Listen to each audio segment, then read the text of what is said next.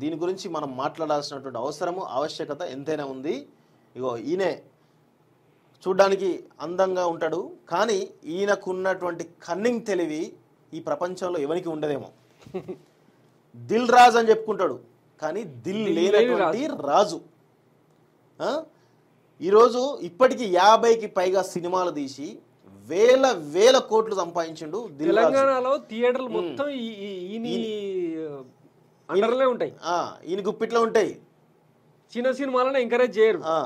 అయితే ఇక్కడ తెలంగాణ సెంటిమెంట్ ఒక మంచి సినిమా వచ్చింది. దానికి ప్రొడ్యూస్ చేసిండు. సరే వీడు మారిండేమో వీడి వ్యవహారశాలి మారిందేమో పాపం తెలంగాణ నేటివిటీ సినిమాను మరి ఏమైనా బతికిస్తుండేమో అని ఒక చిన్న ఆశ అందరికి కలిగింది పాపం ఆ టిల్లు వేణు ఎవరైతే ఉన్నారో కమేడియన్గా ఉండి ఒక మంచి సినిమా తీసి చాలా మంచి పేరు తెచ్చుకున్నాడు. అయిపోయింది. ఆ తర్వాత సినిమా రిలీజ్ అయ్యి దాదాపు రెండు వారాల దగ్గరికి వస్తా ఉన్నది. సినిమా చూసిన వాళ్ళంతా బలగం సినిమా చూసిన వాళ్ళంతా కంటతడి పెట్టి అంటే ఇట్లాంటి క్లాసిక్స్ కొన్ని ఏళ్ళ తర్వాత వస్తాయి. అప్పట్లో మాతృదేవ కంటతడి పెట్టించింది. ఇప్పుడు బలగం. ఎస్ గుండెల్లో తడి ఉన్న ప్రతి ఒక్కరు ఏడ్చిన సినిమా ఇది. ప్రతి ఇంట్లో కథ ఇది వాస్తవం చెప్పాలంటే. ప్రతి ఇంట్లో జరిగేటువంటి కథ. అంటే ఎవరికి వారు తెలంగాణ సమాజం కావచ్చు ఇటు ఆంధ్రప్రదేశ్ తెలుగు రాష్ట్రాల్లో కూడా మా ఇంట్లో జరిగేటువంటి ఒక వ్యవహారంలాగా కనబడ్డది కాబట్టి అందరూ చాలా ఇది నా సినిమా అని ఫీల్ అయిన ప్రతి కుటుంబం కూడా. ఈ సినిమా చూసి విడిపోయిన అన్నదమ్ముళ్ళు విడిపోయిన అన్న చెల్లెళ్ళు కలిసిపోయి ఎంత ఆహ్లాదకరమైన వాతావరణం నెలకొంది. అంటే తెలంగాణలో చాలా అద్భుతంగా ఉంది. రెండు కోట్లకు తీసి ఇంచుమించు నలభై కోట్లు అంటే రెండు వేల రెట్లు సంపాదించిండు అయినా ఆశ చావాలి. నిన్న పోయి డీజీపీగా ఎవరికి కంప్లైంట్ చేసి సూపరింటెండెంట్ ఆఫ్ పోలీస్కి వాళ్ళకి వీళ్ళకు కంప్లైంట్ చేసిండు. ఎందుకు కంప్లైంట్ చేసిండంటే ఊర్లల్లో ఆల్రెడీ వీడు ఏం చేసిండంటే ఆల్రెడీ బలగం సినిమాను ఓటీటీకి ఇచ్చేసిండు అమెజాన్ ప్రైమ్కి ఇచ్చేసిన తర్వాత అక్కడ చాలా మంది ఊర్లలో ఏం చేసిందంటే ఒక థియేటర్లు వాళ్ళ స్వచ్ఛందంగా స్క్రీన్లు పెట్టుకొని ఊరంతా కలిసి చూస్తూ ఒక ఆహ్లాదకరమైనటువంటి వాతావరణం పండుగ వాతావరణం నెలకొంటున్న సమయంలో అందరూ ఎమోషనల్గా ఒక వీడియో చూపిస్తాం మీకు చూడండి క్లియర్గా అప్పట్లో ఒసేరాములమ్మ సినిమాను బండ్ల మీద పోయి ఎడ్ల బండ్లు కట్టుకొని పోయి సినిమా థియేటర్లకు పోయి అట్లాంటి వాతావరణం క్రియేట్ అయింది ఈ సినిమా కారణంగా. ఇగో చూడండి ఇది ఈ సినిమాకు సంబంధించి వాస్తవంగా సినిమాలో చాలా ఇగో. ఆడియో పెడదామని. Audio audio audio audio. ఇగో ఈ విధంగా వాళ్ళు ఎమోషనల్గా ఫీల్ అవుతారు సినిమా చూస్తూ ఒక్కొక్కరు. ఇట్లాంటి సినిమాల్లో కూడా వీడు కమర్షియల్గా ఆలోచిస్తుండంటే శవాల మీద పేలాలు ఈ బలగం ఆ కొమురయ్య శవం మీద చల్లిన పేలాలు ఏరుకునే టైప్ అనమాట అందుకే మేము ఏం టైటిల్ పెట్టామంటే శివాల మీద ప్యాలాలు ఏరుకునే రకం దిల్ లేని రాజు అని చెప్పేసి పెట్టినాం. అయితే ఇందులో ఏం పెట్టినట్టు ఒకసారి కంప్లైంట్ చూద్దాము. అయితే మేము ఇంకా దీని దీనిపైన చాలా సంచలనమైన విషయాలు మేము ఆల్రెడీ మీకు చెప్పదలుచుకున్నాం ఒకసారి. ఇగో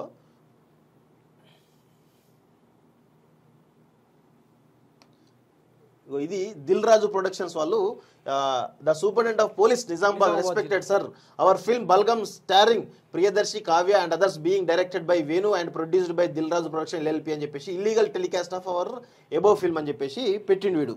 దిల్ రాజు ప్రొడక్షన్స్ సంబంధించి దీనిలో ఇల్లీగలే ఉందిరా బోసిడీకి. ఆల్రెడీ ఓటీడీకి ఇచ్చిన తర్వాత అమెజాన్లోకి వచ్చిన తర్వాత ఆటోమేటిక్గా డౌన్లోడ్ చేసుకొని ఎవ- ఎవరింట్లో వాళ్ళు చూసుకుంటారు. చాలా మందికి షేర్ చేస్తారు. ఇంకా అమ్ముకున్నాక అయిపోయింది నీ సినిమా బిజినెస్. దీనిలో ఇంకా ఇల్లీగల్ ఏముంది? తెలంగాణ ప్రజలు గొర్రెలు చేయనికనా ఎంతమందిని అరెస్ట్ చేస్తారు ఇప్పుడు? సిగ్గుండాలి కదా కొంచెం. వీడిని ఏమనాలి మనము ఈ దిల్ రాజు గారిని. వీడు ఇప్పుడు తెలంగాణకు ఒక అదైపోయాడు. ఇంకొకటి ఇగో ఇదొకటి చూడండి. వీడు వీడు వీడోడు శ్రీత గౌరవనీయుల సూపరింటెండెంట్ ఆఫ్ పోలీస్ కామారెడ్డి గారికి బలగం సినిమా సినిమాను ఎలాంటి అనుమతులు లేకుండా గ్రామాల్లో ప్రదర్శన విషయం గురించి నేను దాసరి నాగేశ్వరరావు సన్ ఆఫ్ సత్యనారాయణ ఆ, 67 caste Kamma Kamma. Caste Kamma. Occupation SVC Nizamabad cinema theatres యొక్క జనరల్ మేనేజర్గా పనిచేస్తున్నారు. తమరికి తెలియజేయడం ఏమనగా తమరి కామారెడ్డి జిల్లాలో గ్రామాల్లో గ్రామస్తులు ఎలాంటి అనుమతులు లేకుండా సర్పంచ్కు తెలియజేసి గ్రామస్తులు బలంగా సినిమాను ప్రదర్శిస్తున్నారు. కావున పై విషయంలో చట్టరీత్యా చర్యలు తీసుకోగలరని మనవి. దాస నాగేశ్వరరావు కమ్మ. ఇది వీడిచ్చేటువంటి కంప్లైంట్ అయితే ఇందులో దీని వెనకాల కోణం మీకు చెప్తా అయినండి ఈ సినిమాకు పెట్టుబడులు పెట్టింది ఈ ప్రభుత్వంలో ఉన్నటువంటి ఒక పెద్ద మనిషి. ఎందుకు పెట్టిండు అంటే ఇప్పుడు వీళ్ళకు ఏది ధరని ఏదైతే రియల్ ఎస్టేట్ నుంచి ఇటు మై హోమ్ నుంచి కావచ్చు మెగా కృష్ణారెడ్డి నుంచి కావచ్చు వివిధ కంపెనీల నుంచి రియల్ ఎస్టేట్ కంపెనీల నుంచి ఆల్రెడీ ఈడీ రైజ్ జరుగుతున్నాయి కదా అక్కడ నుంచి ఒక్క రూపాయి కూడా వీళ్ళకి వచ్చే పరిస్థితి కనబడతలేదు.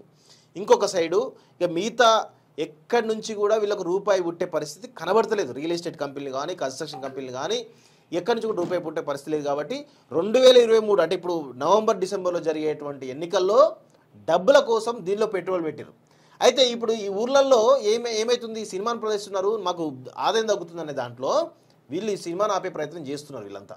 ఈ సినిమాను ఊర్లలో చూడలేయకుండా ఆపే ప్రయత్నం చేస్తున్నారు. అరే ఎందుకు రమ్మి నాకు అర్థం కాదు. మీ ఇంట్లో కూడా ఇందులో కూడా మీరు ఇంత కకృతి పడితే ఏం చెప్పాలి మీకు? ఇప్పుడు సినిమాలో ఉన్న దిల్ రాజు లాంటితో పాటు ఇంకో కొంతమంది పెద్దలు కలిసి మొత్తం ఈ రాష్ట్ర ప్రభు ఈ బీఆర్ఎస్ పార్టీకి ఫండింగ్ కోసము వీళ్ళందరూ కూడా సినిమాల్లో ఇప్పుడు అది చేస్తున్నారట. సినిమాల ద్వారా వచ్చినటువంటి డబ్బులు బ్లాక్ మనీ అవుతుందో మొత్తాన్ని కూడా వాళ్ళకు అప్పయిపోయేటువంటి బీఆర్ఎస్ పార్టీకి అప్పయిపోయే ప్రయత్నం చేస్తున్నారని తెలుస్తూ ఉంది. ఏం చెప్తాం వీళ్ళకి? ఇట్లాంటోడు దిల్ రాజు ఒకటే చెప్తాం తెలంగాణ సమాజం తరఫున నీకు నూకలు జల్లినాయి బిడ్డ? గుర్తుపెట్టుకో నూకలు జల్లినే నీకేడ? నువ్వు ఇన్ని రోజులు తెలంగాణ పేరిట తెలంగాణలో ఉన్నటువంటి ఒకటి నిన్ను ఎవడు ఎందుకు డిస్టర్బ్ అవుతున్నా ఆంధ్రలో ఎందుకు డిస్టర్బ్ అవుతున్నాడు తెలంగాణ నుంచి ఒకే ఒకటి ఉన్నావని దానిలో నిన్ను ఎవడు డిస్టర్బ్ చేస్తలేడు. ఈరోజు తెలంగాణ అసలు నుంచే ఈ- ఈ సినిమా కథ అనేది పచ్చికి అనే సతీష్ గడ్డం అనే ఒక అబ్బాయి రాసిన స్టోరీ అది. కాపీ కొట్టిన కథకు ఈడు ట్రేడ్ మార్క్స్ వేసుకొని ఇంత చేసిండు కదా మరి ఆ గడ్డం సతీష్కి ఏం న్యాయం చేసిండు? ఆ పిల్లగాడు చాలా గాయి గాయి చేసిండు సోషల్ మీడియాలో మస్తు ట్రోల్ అయింది కూడా అది విషయం. ఈ కాపీ కొట్టిన కథకు మళ్ళీ నేను డైరెక్టర్ నేను నిర్మాత అని చెప్పుకుంటారు వీళ్ళు. మీకు కథలు పుట్టియడం చేత కాదు పుట్టిన కథల్ని ఎంగేజ్ చేసుకోవడం చేత కాదు. ఇప్పుడు ఏం నష్టమైంది? ఆల్రెడీ నలభై కోట్లు దొప్పిండ్రు దొబ్బిరు ఇంకేం కావాలరా నీకు? నాకు అర్థం కాదు. దిల్ రాజుగా అందుకే అనాల్సి వస్తుంది విన్ని. ఇట్లాంటి చేతగాని దద్దమ్మలు ఇట్లాంటి ఇట్లాంటి వేషాలు ఇస్తే అసలు వాడు వస్తుంది. ఈ సినిమాకు పనిచేసిన ఆర్టిస్టులంతా ఇది నా సినిమా. నా ఇంటి కథ అని ఫీల్ అయ్యి ఆ కొమరాయ తాత గవర్నమెంట్ ఎంప్లాయ్ అనే టీచరు. కేవలం ఐదు వేలు తీసుకొని సినిమా చేసి సినిమా చేసింది చాలా మంది ఆర్టిస్టులు ఐదు నుంచి పదివేలకు మించి దీనిలో రెమ్యునరేషన్ తీసుకోలేదంట. అంటే ఆ కార్మికుల కష్టాలు ఆర్టిస్టుల కష్టాన్ని వీడు సొమ్ము చేసుకొని నలభై కోట్లు సంపాదించింది పోయింది. ఇప్పుడు జనం ఊగ చూస్తే వాళ్ళ మీద కేసులా? సిగ్గుండాలి కదా కొంచెమన్నా? ఈ- ఈ దిల్ రాజు గారి సినిమాలు రేపు పొద్దున ఎప్పుడు వచ్చినా కానీ తెలంగాణ మొత్తం బ్యాన్ చేయాలి అసలు ఫస్ట్ ఆఫ్ ఆల్ ఇట్లాంటి డెసిషన్ తీసుకున్నాక రాష్ట్ర ప్రభుత్వం నుంచి స్పందన లేదంటే బీఆర్ఎస్ పార్టీ పెద్దలు ఎవరైతే మంత్రులు అయితే కేటీఆర్ హరీష్ రావు లాంటి ఎందుకు మాట్లాడతలేరు? వీళ్ళు ఎందుకు వీళ్ళు ఎందుకు ఎంకరేజ్ చేస్తున్నారు వీన్ని? అంటే మీరు కూడా కుమ్మక్క అవుతున్నారు అను- అనుకోవాలి అనుకోవాలి అంతే కదా.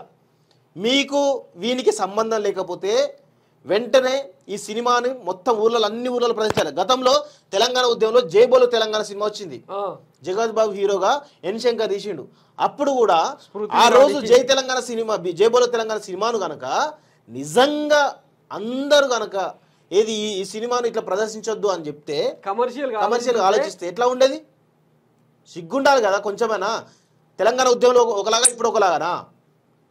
దీనికి బాధ్యత కేటీఆర్ తీసుకోవాలి. కేటీఆర్ ఎందుకంటే ఈ సినిమాను ప్రమోట్ చేసిందే కేటీఆర్.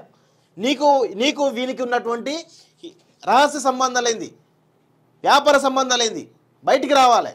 మీకు వ్యాపార సంబంధం లేకపోతే వీనిపైన ఈ సినిమాని వెంటనే ఇమీడియట్గా మొత్తం అసలు వీనికి ఎందుకు ఇవ్వాలి రాయితీలు ఎందుకు ఇవ్వాలి వీనికి ఎందుకు ఎంకరేజ్ చేయాలి? నెక్స్ట్ వచ్చే సినిమాను వీడి తీసే వీడి నిర్- నిర్మా నిర్మాణంలో జరిగే సినిమాను తెలంగాణ ప్రమోట్ చేయమని చెప్పేసి డైరెక్ట్ చెప్పాలి కేటీఆర్ దమ్ముంటే. మీకు వ్యాపార సంబంధాలు కనుక చీకటి సంబంధాలు లేకపోతే వీనిపైన చర్యలు తీసుకోవాలి. యాక్చువల్గా ఈ బలగం సినిమాకు కింది నుంచి పైదాకా ఆస్కార్ వరకు అవార్డులు వచ్చే అవకాశం ఉన్న సినిమా అని చెప్పి అందరూ ఎంత బాగా హత్తుకున్నారంటే జాతీయ అవార్డు రావాలి. ఇంత హ్యూమన్ టచ్ ఇంత మెసేజ్ ఓరియంటెడ్ సినిమా సమీప భవిష్యత్తులో రాలే. దీనిలో ఒక ఒక విషయం చెప్పాలి. ఇందులో పనిచేసిన ఈ సినిమాకు పనిచేసినటువంటి బాలు ఖ్యాతి అని ఉంటాడు. ఒకసారి ఆయన పెట్టిన పోస్ట్ చూద్దాం మనం. బాలు ఖ్యా ఖ్యాతి ఈయన ఒక జర్నలిస్ట్. ఒక జర్నలిస్టు ఈయన ఏం ఇగో ఈయన ఏం పెట్టిండు చూడండి. ఈ జే- దీనిలో పనిచేసినటువంటి ఒక వ్యక్తి కీలకంగా పనిచేసినటువంటి ఒక జర్నలిస్టు ఆయన ఆయన కూడా నిరసన తెలియజేస్తున్నాడు. సినిమా విజయం వంద వందల కోట్లు వసూలు చేస్తే కాదు విజయం అంటే ఇది అని చెప్పేసి పెట్టిండు. కింద ఇంకొక చూడండి. బలగం కోసం రాజన్న సిరిసిల్ల జిల్లా తంగాలపల్లి మండలం రామన్నపల్లిలో బలగం సినిమా చిత్ర ప్రదర్శన కోసం డప్పు సాటింపు చేశారు. చూడండి. బలగం ప్రతి కుటుంబ కన్నీటి కథ బలగం వలపోత బలగం క్లైమాక్స్ సాంగ్ చూసి ఎంతో కఠి- కఠినాత్ములైన కంటనీరు పెట్టాల్సిందే. ఈ గడిలో సినిమా తీసినవో కానీ కమెడియన్ వేణు టిల్లన్న అందరిని ఏడిపిస్తున్నావు. బంధాలు అనుబంధాలు గుర్తుకొస్తున్నాయి. పల్లెల్లో జనం గొల్లున ఏడుస్తున్నారు. రాజన్న సిరిసిల్ల జిల్లా బోయిన్పల్లి మండలం నిరోజపల్లి దండాలో గ్రామంలో బలగం సినిమా బిగ్ స్క్రీన్ పై చూసిన అనంతరం మరణించిన తమ కుటుంబ సభ్యులు తలుచుకుని రోధిస్తున్న మహిళలు బలగం సినిమాలో ఒగ్గు కథ చెప్పిన వారిని పిలిచి మరీ గ్రామస్తులు సత్కరించారు. ఈ సన్నివేశం చూసి నేను కూడా బా భావోద్వేగానికి గురయ్యాను. ఇగో చూడండి. ఇగో డబ్బు ఒక చోట వస్తుంది ఒక చోట పోతుంది. పేరు రావడం మాత్రం చాలా కష్టం. వచ్చిన పేరు చెడగొట్టుకోవడం దురదృష్టకరం. ఈ సినిమా డబ్బు కోసం తీయలేదు. మానవ సంబంధాలు ప్రజల్లోకి తీసుకెళ్ళాలని తీశా నిన్నటి ప్రకటన. నేడు గ్రామాల్లో ఉచిత ప్రదర్శన పైరసీ కిందకు వస్తుందంటూ ఆవేదన. హక్కులను అమ్ముకున్న అమెజాన్ ప్రైమ్లో బిగ్ స్క్రీన్లో ఎక్కువ మంది చూస్తే ఇబ్బంది ఏంటో అర్థం కాలేదు. ఇగో చూడండి. ఈ సినిమాను డబ్బు కోసం తీయలేదు. మానవ సంబంధాలు ప్రజల్లోకి తీసుకెళ్ళాలని తీశా ఇది నిన్నటి ప్రకటన. నేడు వీడు ఏం చేస్తున్నాడు? వాడు ఆ గొట్టంగాడు చెప్పిన మాట ఇది. వీడు వీడు వీడు చెప్పిండు. వీడు ఎంత నీట్గా నవ్వుతాడంటే ఆ నవ్వు వెనకాల ఉన్నటువంటి కన్నింగ్ అందరు గుర్తుపెట్టుకోవాలి.